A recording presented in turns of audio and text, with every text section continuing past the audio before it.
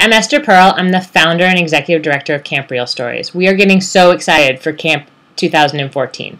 Last year, we took over 30 girls through our inaugural program, and they worked with 40 professional mentors and made six films in five days. They also worked hard to start to learn about the gender gap in the media and what they can do to change it. This year, we're going to take 90 girls through our program, and we already have professional mentors from places like Pixar, DreamWorks, ILM, and so many others.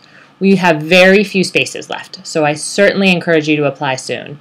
If you want to be involved in other ways, please go to our website, www.campreelstories.com, and fill out a volunteer application. Right now, we have many girls who'd like to come to camp who can't afford it, and we have a crowdfunding campaign going on to try to up, build up our financial aid program.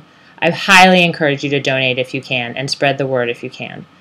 Over the next few weeks, we're going to be adding interviews um, onto our blog from other Camp Reel Stories supporters. So please check back often, and every couple of days that we'll have a new video or a new interview with people that have been involved with Camp Reel Stories in the past. We're excited for this summer, and we encourage you to get involved in whatever way you can. Together, we can change the gender gap in the media, and we're really, really looking forward to having you help us with that. Thank you.